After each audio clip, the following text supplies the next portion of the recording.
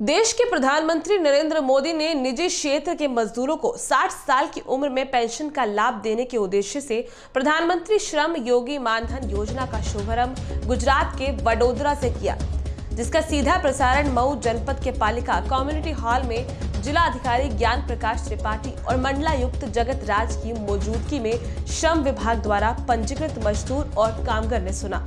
इस योजना से प्रधानमंत्री के उद्घाटन करने के बाद जनपद में असंगठित मजदूरों के रजिस्ट्रेशन कार्ड का वितरण अधिकारियों द्वारा किया गया।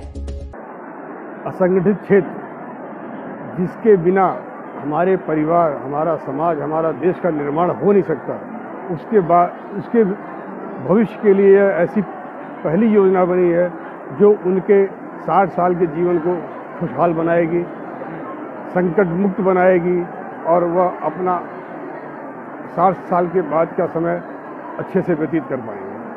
काफ़ी अच्छी योजना है जो इसका उद्देश्य इस योजना का शुभारंभ आज माननीय प्रधानमंत्री जी ने किया है और वो गुजरात से हुआ है। सब लोगों ने जो है लाइव टेलीकास्ट भी देखा है माननीय प्रधानमंत्री जी का।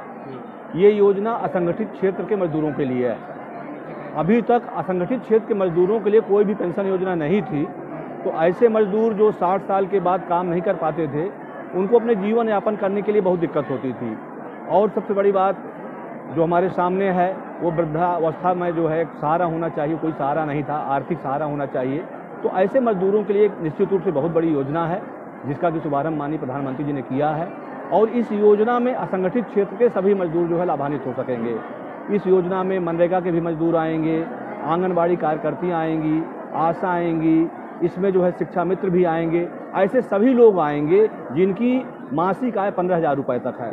तो निश्चित रूप से काफ़ी लोग इसमें आएँगे और ऐसे मजदूरों को रखा गया है जिनकी आयु 18 साल से 40 साल तक बीच है। उनका जो अंशदान है, वो पचपन रुपये से दो सौ रुपये के बीच होना है। आय के आयु के अनुसार अंशदान होना है, जिनकी उम्र कम है, उनका अंशदान कम होगा, जिनकी उनको ज़्यादा अंशदान होता जाएगा। तो इस तरह से उनको हर महीने जो है पचपन रुपये से दो सौ रुपये के बीच अपना अंशदान करना है। और ये ऑटोमेटिकली जो है उनके खाते से जो उनका खाता खुला हुआ बैंक अकाउंट है। बैंक अकाउंट से जो है पचपन रुपया जो भी अंशदान देना है उस योजना में चला जाएगा।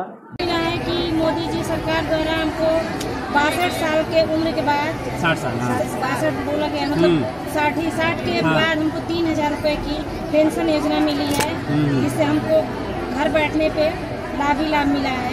मोदी जी द्वारा हमको लाभ मिला है जिससे हमको आधे अपने खाते से पैसा देना आधा हमको सरकार मोदी जी ने दिया है। कैसी योजना है ये आपको? काफ़ी अच्छी है। अच्छी अच्छी योजना है ये। तीन हज़ार हर महीने हाँ, पेंशन गरीबों मिलेगी। के लिए सपोर्ट मिला है सरकार द्वारा। परिवारों के लिए एक पेंशन योजना की शुरुआत की गई है जिनकी आयु 18 से 40 के बीच में है और मासिक आय पंद्रह हज़ार रुपये तक है। उनको नियमित मासिक अंशदान करना है।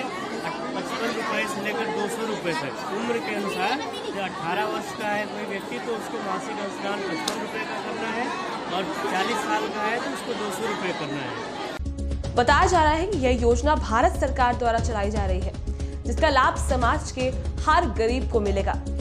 सरकार की यह मंशा है कि समाज के अंतिम व्यक्ति तक इस योजना को पहुँचाया जाए और इस योजना का लाभ सब उठा सके। इस योजना के पात्र लाभार्थी जिनकी उम्र 18 वर्ष से 40 वर्ष तक होनी चाहिए। जिसका आवेदन जन सेवा केंद्र से किया जा सकता है। पात्र व्यक्ति 60 वर्ष की आयु पूर्ण कर लेने पर प्रति माह तीन हज़ार रूपए पेंशन के रूप में दिए जाएँगे।